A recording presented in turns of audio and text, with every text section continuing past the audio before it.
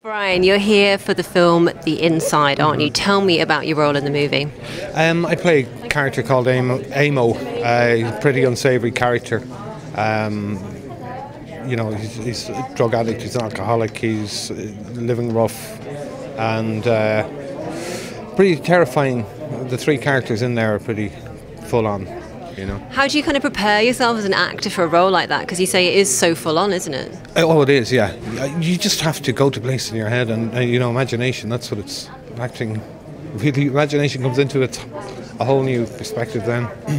Uh, I know you came to acting a little bit later in life, didn't you, in your kind of late 30s? Um, Yeah. How have you found that experience? Um, there's a lot of guys ahead of me, particularly in Ireland. I mean, I do most of my work in Ireland. Um, I have worked in Italy and, and the States, but it's hard to break in in Ireland. It's still, I'm chipping away, chipping away, and I'll, you know, I'm getting there. That's for sure.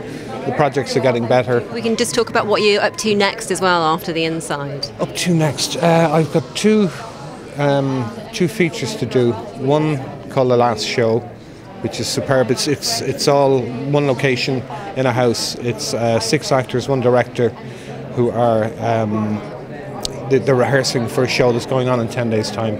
I'm playing the director writer. Uh, he's a very sick man, and it's just the relationships. It's so beautifully written. Uh, Rita Marie Lawler, she's a, an Irish filmmaker, has written this, and it's it's brilliant. And then I've I'm playing a priest, an exorcist priest.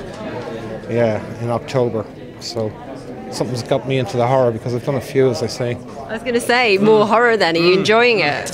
Yeah, I, I, I did a, a film in um, New York last month, a horror, and it, was called Model Hunger. It was just, it was terrific. It was the, the, the prosthetics, the makeup, the whole thing was just, and the, the actors were just so good.